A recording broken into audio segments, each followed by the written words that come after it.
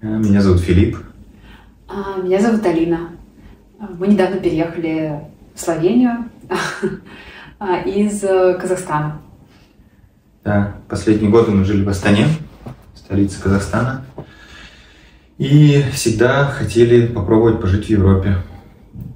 Понимали, что в странах СНГ нам не так комфортно, когда мы приезжаем в Европу и путешествуем по ней, но мы всегда понимали, что путешествия и жизнь — это разные вещи. Но вот последний год, э, прошлой зимой, э, мы задались вопросом, какая страна это может быть, где мы можем попробовать пожить. Э, перечисляли много стран, где мы были. Вспомнили сначала Словакию, в которой я был, но я помню, что там было здорово, но я не представлял, как я там буду жить. И мы помним, что была созвучная страна Словения, про которую мы ничего не знали.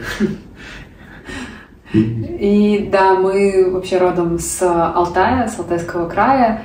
И, в общем, люди, которые привычны к очень а, красивой природе и э, хорошей экологии, климату, поэтому для нас этот фактор очень важный, и для себя мы нашли Словению.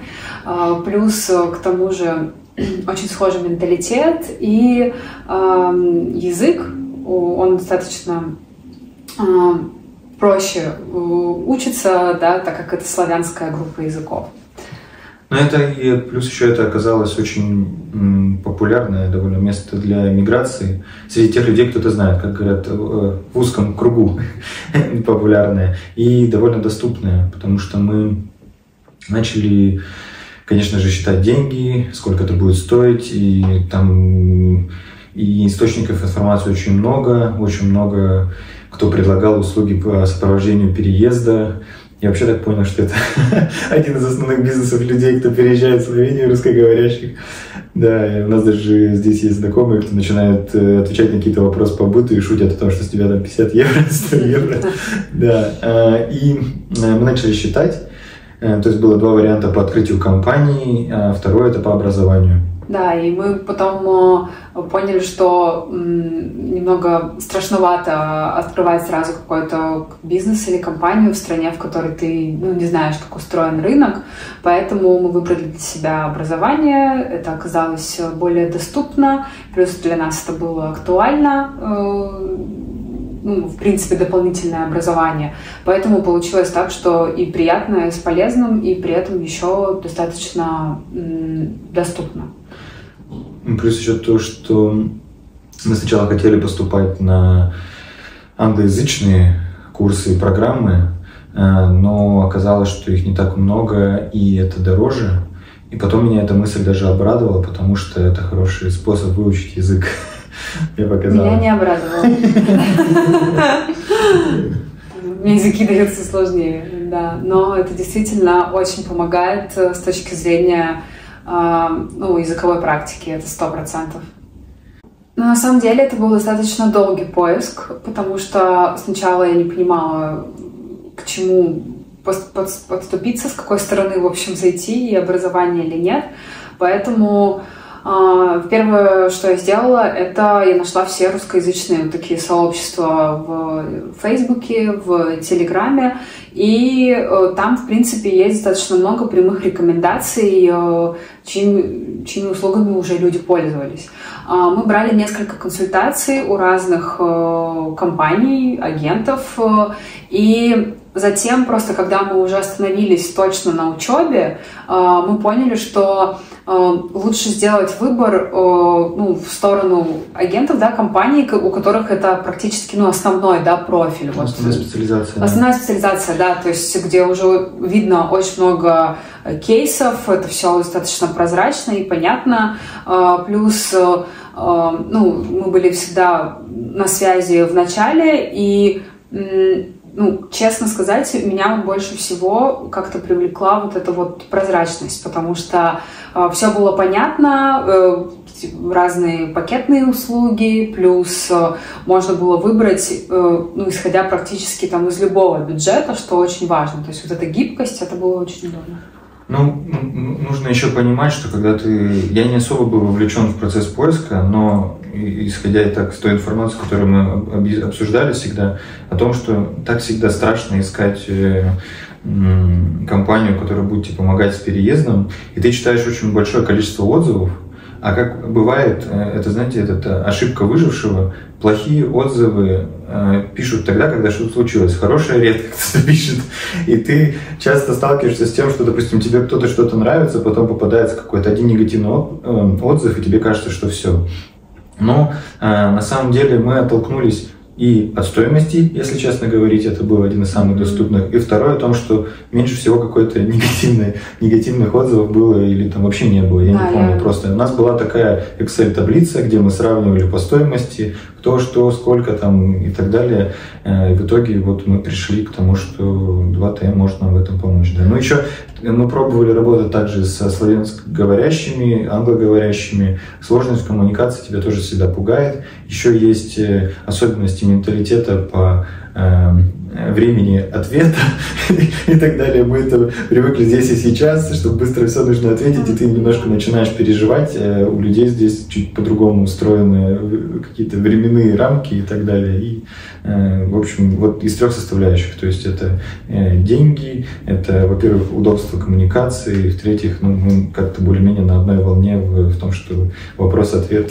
Ну, да, все было просто очень как бы последовательно и четко. Нам сразу объяснили, как будет строится процесс, что нужно от нас, в какие сроки. Вот если мы хотим успеть там в определенную волну поступить, то нужно вот где-то ускориться, да. То есть поэтому, в принципе, получилось все достаточно ну, как-то быстро и четко и с нашей стороны, хотя ну, с документами. Потому что у нас не все документы были. У нас были не все документы, да, мы очень многое запрашивали где-то и в России, э, ну, то есть и где-то там время увеличивалось, но тем не менее, тут тоже я хочу отметить про то, что э, нам во многом как-то шли на поводу, то есть хотя мы по срокам объективно навстречу. успевали только, да, на, во многом шли навстречу. Э, мы успевали только во вторую волну поступить, но так получилось, что э, решили все равно попробовать. И вот мне понравилось в этом плане, что как-то было очень, очень гибко и какие-то наши просьбы тоже, наши просьбы реагировали, да. да, и принимали во внимание. Uh, да, я, я поступила на программу Wellness в колледж Софиза. Uh, для меня это сфера, в принципе, очень актуальна и интересна. У меня первое образование связано с туризмом и гостиничным бизнесом. Это, можно сказать, такое э, продолжение, но уже в, в, в заграничном варианте, да, в иностранном. Э, вот. Моя, то, куда я поступил, это ЦПУ. Это Центр профессиональной подготовки. На самом деле, когда мы пришли в ТМ с запросом в помощи поиска образовательных программ, у меня был запрос, связанный со строительством архитектуры, потому что последние 10 лет я работаю в строительстве архитектуры, но как это бывает у нас в странах постсоветского пространства, образования у меня нет. У меня образование международные отношения, лингвистическое, даже больше исторический факультет, и у меня всегда был такой незакрытый гештальт, это все-таки получить образование в сфере, закрыть какие-то пробелы, такие базовые обучения, потому что знаний уже много, практики очень много, но какой-то базы нет. Э, и я поступил на инженера-строителя. Э, у меня еще учеба началась, правда, но она скоро начнется. Я посмотрел программу, и меня обрадовало то, что на самом деле эта программа предназначена для людей, либо для собственников бизнеса, либо тот, кто уже работает в строительстве, это даже больше повышение квалификации, и я вообще пришел в восторг, когда я об этом услышал, потому что я жду начала учебы, уже получил предварительные записи, очень много расчетов, конструкций и так далее, немножко страшно, но в принципе справимся Так, язык мы начали учить э, где-то с весны, то есть до переезда ну, около пяти месяцев. А, мы... Э... Можно я тебя перебью? Так это я имею в виду.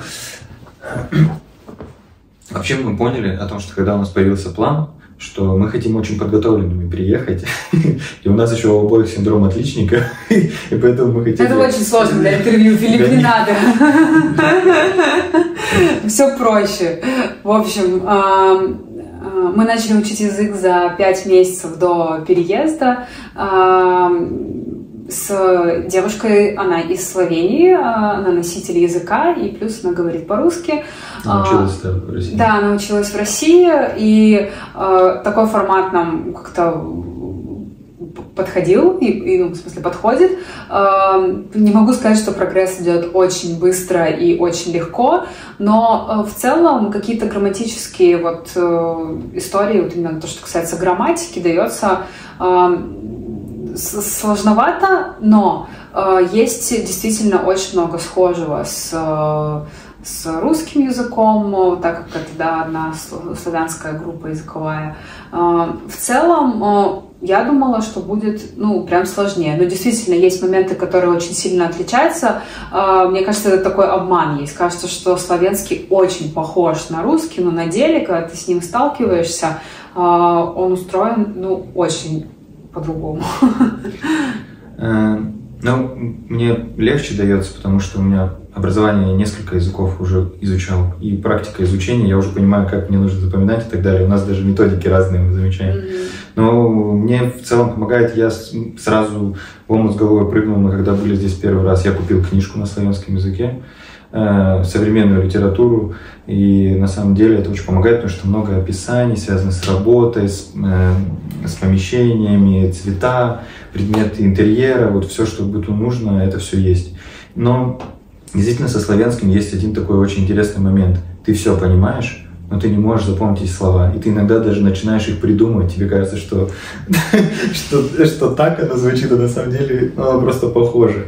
То есть ты, когда видишь, ты их распознаешь, эти слова, потому что ну, можно как-то привязаться с какими-то аналогиями или синонимами в русском языке, но запомнить и использовать их в жизни сложнее.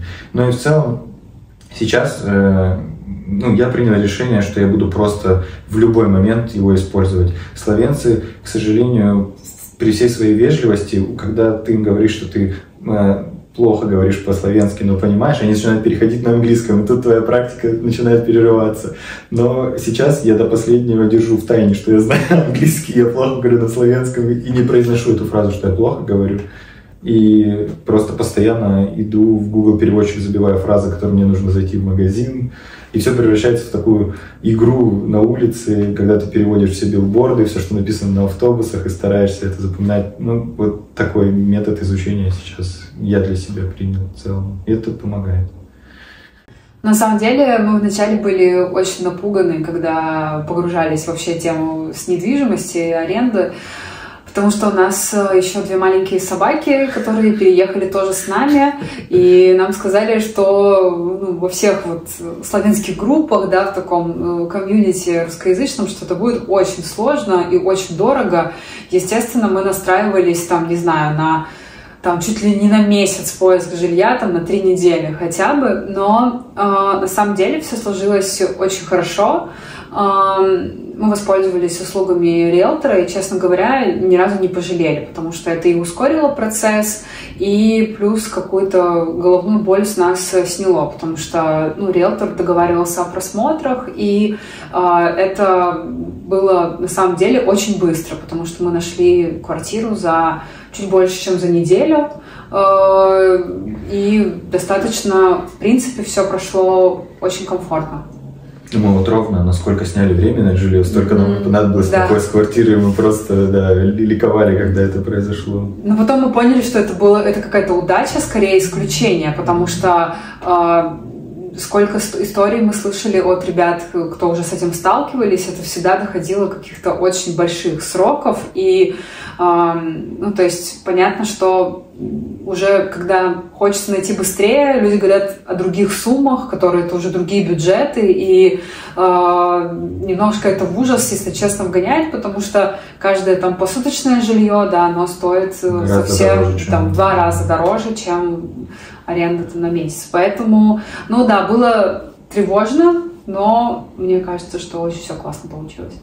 Ну, еще и район, куда мы хотели. Mm-hmm, мы да, нам ехали по Тиволи, мы влюбились, так да. хотели где-то рядом жить, да. так получилось. Ну и собаки нам еще, да. потому что нам нужно где-то гулять с ними. Мы еще когда в ожидании были э, отлета, у меня еще состояние такое на работе. Я 10 лет проработал в одной компании. Ну, вот, э, модное слово «выгоревший» был полностью. И очень сильно соскучился по природе. Как бы мы не любили Казахстан, но именно Астана, она, это степь, и там до ближайшей природы надо ехать 250 километров. И я просто помню, как мы мечтали о том, что мы приедем. Мы специально отложили озеро Блед э, на, на наш приезд. Но мы еще приехали, у нас здесь оказались друзья, которыми сейчас, в смысле знакомые, которыми сейчас сложно знакомыми назвать, они нас очень сильно тоже поддержали, начали нас везде возить. Мы уже были на Бохе, да, на озере, мы съездили в озеро Блед, э, на прошлых выходных мы съездили в Пиран. Да. За, на, за супер дешевые дотационные билеты на человека 400 Выходные билеты по 2 евро. По 2 евро, да, да. Мы просто в восторге от природы и мест, и насколько разная страна и по климату, и по архитектуре, по ментали... ну, менталитету не знаю, но я имею в виду по какому-то вайбу, что ли, местонахождения, потому что что-то невероятное вообще. И, и еще планов очень куча, куда хочется mm-hmm. сходить. Мы, у нас уже словенец э, сводил на первый хайкинг тоже. Да. Э, нас уже приучили ходить на рынок по субботам. В общем, мы тут стараемся максимум э, интегрироваться, да. в местных, и поэтому... На самом деле это очень помогает, мне кажется, вот в таких первых моментах адаптации, потому что э, тоже, когда закрыл, мне кажется, бывает такое шоковое состояние, что вот ты приезжаешь, и настолько все неизвестное, незнакомое, что хочется просто закрыться дома, но мы прям себя стараемся как можно чаще вытаскивать, куда-то ездить, что-то смотреть, потому что это всегда соприкосновение вот с, с каким-то, не знаю, реальным, реальным миром, и это очень помогает действительно обзавестись какими-то а, небольшими там, знакомствами или с кем-то даже просто перекинуться парой слов, а это практика языка сразу. А, вот. Поэтому а, в этом плане, да, просто в Астане нам было сложно, потому что ну, не было возможности куда-то съездить, а вот мы, наоборот, любим какие-то передвижения, вот, вырваться куда-то на выходные, на природу. И ну, здесь, честно говоря, грех это не делать, потому что очень много всего вокруг. Тут так это создано. Да, это просто создано, да, вот здесь вот так. Видно, что люди здесь тоже этому следуют и выезжают куда-то за город, там, на выходные. Это прям Тут чувствуется в культуре. Ты да. просто в окно смотришь в пятницу там или в субботу рано утром, твои соседи уже пакуют большие какие-то рюкзаки. Да. Все, все в горы. либо для хайкинга, а, да. За грибами у нас вот наш... Мы уже поели до дома у словенцев да. лисичек с картошкой. Да. да. У нас интеграция полная вообще. Да, так Вчера я был на выставке Big C уже, дизайн Любляна, и каждую афишу мы тут рассматриваем друзьям, отправляем, что тут неделя детей, тут неделя ментального здоровья, когда что-то происходит, что-то в городе. Правда, много мероприятий. Да. Мы просто думали, всегда просто есть такой стереотип почему-то про Словению, то, что, ну, меня, может быть, немного пугало, что здесь как-то мало какой-то социальной жизни, что, он, что здесь скучно. Очень многие писали, что здесь скучно, но э, мы до сих пор, честно говоря, не, не поняли, что имелось в виду. Может, потому что мы не какие-то тусовочные люди, Может такие быть, больше семейные. Да, нам, нам для каких-то развлечений не так много-то и нужно. То есть уже выехать куда-то, это уже какой-то досуг, развлечение. Поэтому да.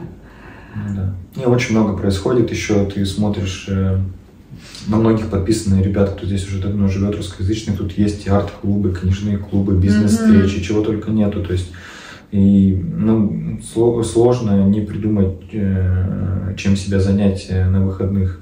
И, ну, сейчас вот появляется учеба единственное, посмотрим, насколько это повлияет на наш распорядок дня и насколько Э, это наша жизнь будет выглядеть по-другому, но... Моя началась еще не полвека.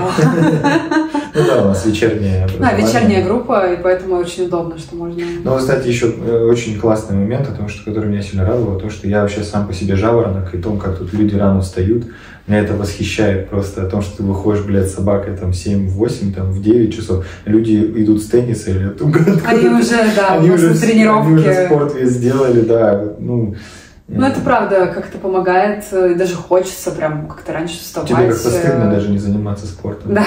Потому что если раньше ты где-то мог себя пожалеть, не сходить, а тут отговорок как будто даже меньше становится. У нас э, очень интересное взаимодействие да, с словенцами.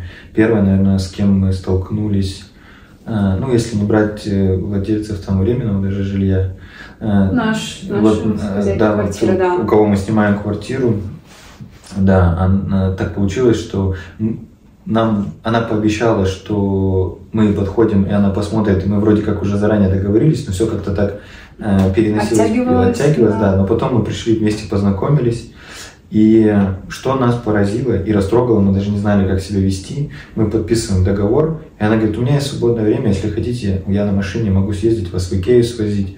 И, да. и, и мы просто, е... ну, а, а я не могу, ну, нам мне было неловко. Я так и говорю, я, я, если честно, не знаю, как реагировать на это предложение. Она такая, в смысле? И она начинает говорить, да вот, говорит, что у меня сын вашего возраста, типа, и у меня вообще вот, ну, как дети. И она, кроме шуток, в какой-то момент она говорит, вы голодные, может быть, а мы как раз должны были в ДТМ забежать, я говорю, извините, у нас нет времени, да. И в целом, вот с кем мы ну, не встречались, вот нас тоже управной энотой э, пугали, да.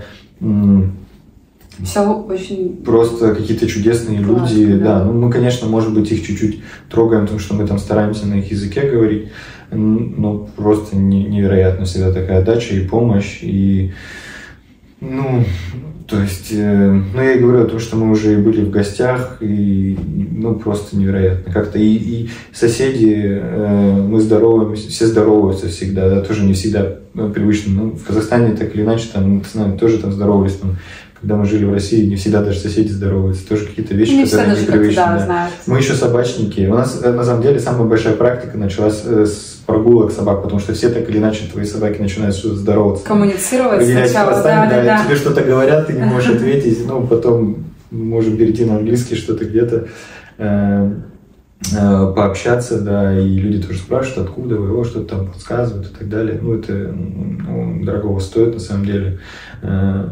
Тем более сейчас всех еще пугают о том, что если у вас там красные паспорта, там очень плохо к вам относятся и так далее, здесь ты вообще с этим никак не сталкиваешься. Мне очень нравится, что, да, разницы, что здесь да. нет никакого деления и так далее, и это ну, очень комфортно, потому что мы сами такие люди, которые никогда не делим по национальному признаку никого. И в этом плане, да, очень комфортно. А, ну, кстати, на удивление, мне нравится, как люди реагируют вообще везде. А, мне даже удалось соприкоснуться с медициной, и очень все как-то лояльно. Ну, то есть люди с пониманием относятся, да, они спокойно могут повторить, объяснить, если что-то не понял там, перейти, если что, на английский, уточнить несколько раз. Ну, то есть в этом плане ты не чувствуешь себя как-то, не знаю, ущемленно, что ли, что с тобой что-то не так. Ну, просто это разный язык, и это нормально. И, ну, вот в этом плане очень комфортно, ну, в смысле, нет какого-то страха, там, не знаю, прям коммуницировать или обратиться к кому-то, потому что, ну, знаешь, что ты все равно получишь какую-то помощь, действительно.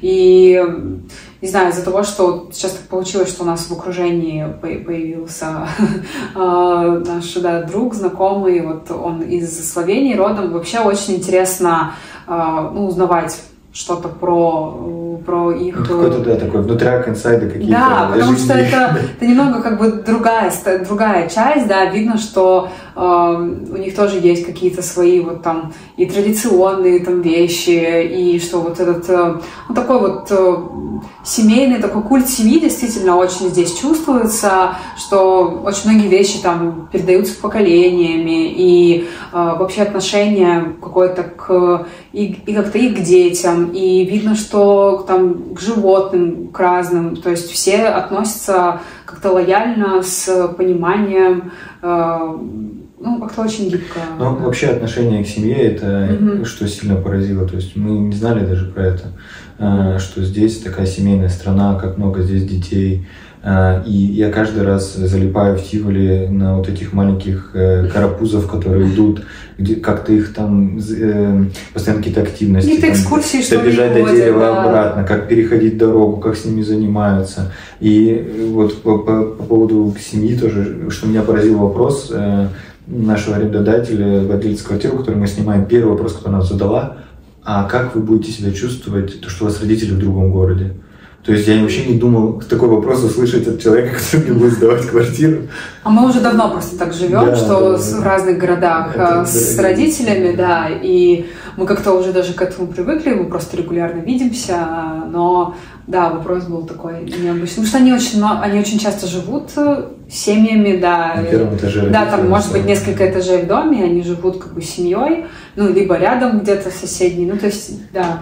Еще мне нравится, что у нас разные стандартные понимания э, какой-то чистоты. У нас уже два раза был такой э, прикол с со словенцем о том, что мы едем, где-то приезжаем, такие, ой, какая речка чистая, можно, хочется прям искупаться. Он только говорит, это не самая чистая речка, я не стал купаться. По сравнению с теми реками, в которых мы жили, это вообще чистота. Или там городской туалет какой-то, ты заходишь там в центре пойти, он такой, вы пойдете в этот туалет? Мы такие, да, и вы выходишь такой хороший туалет. Потому что общественные туалеты, ну, в нашем понимании, они гораздо хуже всегда выглядели, чем здесь. Такой тоже разница чувствуется. Ну, такие вроде бы мелочи, да. но это на самом деле на общее какое-то вот ощущение себя в социуме, оно, оно очень влияет, да.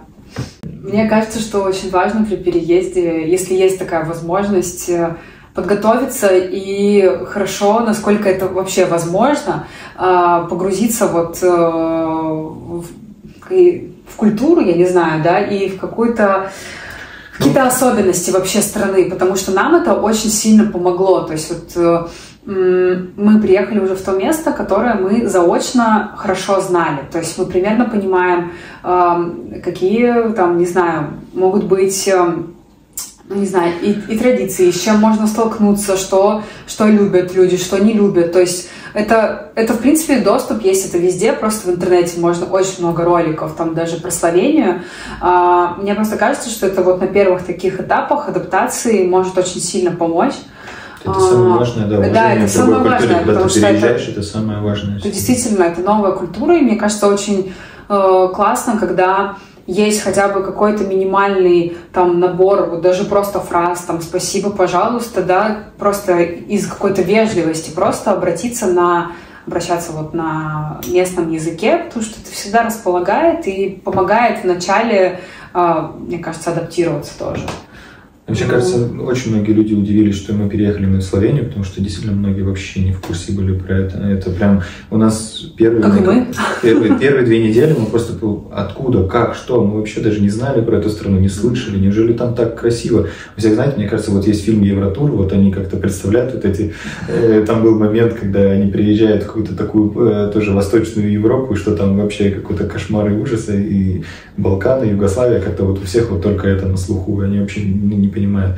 Но вообще для людей, которые планируют переезд, нужно самый основной, мне кажется, момент о том, что всегда есть тот, кто уже этот путь проходил. И просто нужно не так много усилий и не, и не стесняться написать кому-то, э, спросить совета. Ну, ничего страшного не произойдет, попросят денег, заплатите, не страшно, потому что мы даже в поиске консультантов, мы действительно многим просто заплатили деньги за консультацию, и мы считаем это нормально, потому что люди потратили свое время. Но в любом случае, этот опыт уже у кого-то есть.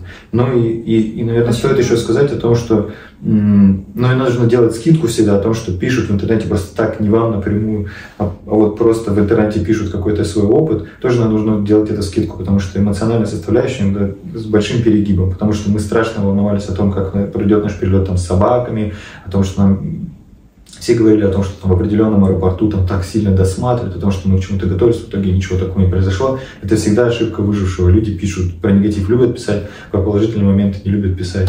А, еще что очень много можно, сейчас очень много русскоязычных таких сообществ, где можно найти, мне кажется, вообще любую информацию. Вот правда. А, ну и, наверное, еще быть готовым, что не все пойдет по плану. Я тоже, тоже не хочется как бы надевать такие розовые очки, и что вот все как-то вот ты переехал, и все складывается вот идеально, ты попадаешь вот в эту среду, но на деле, ну, все равно это, это сложно, и эмоционально как бы сложно, мне кажется, и где-то подстраховаться там с жильем, и финансово тоже, потому что, ну, где-то иногда это может занять гораздо больше времени, чем а, чем рассчитываете, может быть. Ну, сейчас ну, вот есть один момент, про который все говорят, который страшно большой минус, это сложности с поиском работы, да. Ну, то есть, mm. э, э, ну, мы пока просто к этому не приступили, потому что мы ждем начала обучения.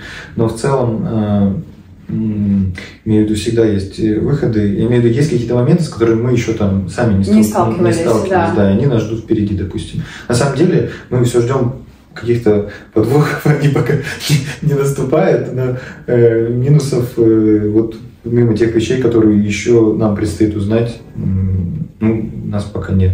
Я просто хотел сказать о том, что ты иногда видишь оценки людей, которые попробовали пожить в Словении. Действительно, это я про то, что какие-то негативные. И ты читаешь, и ты понимаешь, что это как будто бы не про Словению. То есть тут вот эта субъективная оценка, тоже ее нужно всегда принимать. Всегда опыт да. просто, да. То есть люди как будто вообще не выходили с этим сам, то есть они там говорят про, ну, допустим, там я, там, я не знаю, там, что продукты плохого качества, что вообще невозможно, не можем так сказать, потому что mm-hmm. продукты невероятно э, свежие всегда, и качество их невероятное, просто люди вот так вот находят. Они там пишут про там, ну, что им там нагрубили где-то, и ты тоже не можешь понять. Ну такое тоже может быть, то есть мы быть, понимаем, что знаю. это... Но опять же, это все зависит от тебя тоже, я имею в виду, э, красота в глазах смотрящего и обратно это тоже так работает, и поэтому иногда ты читаешь и думаешь, что это вообще, кто это писал, вы точно были в этом же городе, где и мы были, но да. люди по-разному, к сожалению, получают опыт и по-разному воспринимают любые вещи. Ну и обратная связь от этого, конечно, тоже. Поэтому, мне кажется, тут тоже какой-то, какую-то степень серьезности с, не знаю, с отзывов и опыта о переезде я бы тоже немножко убирала.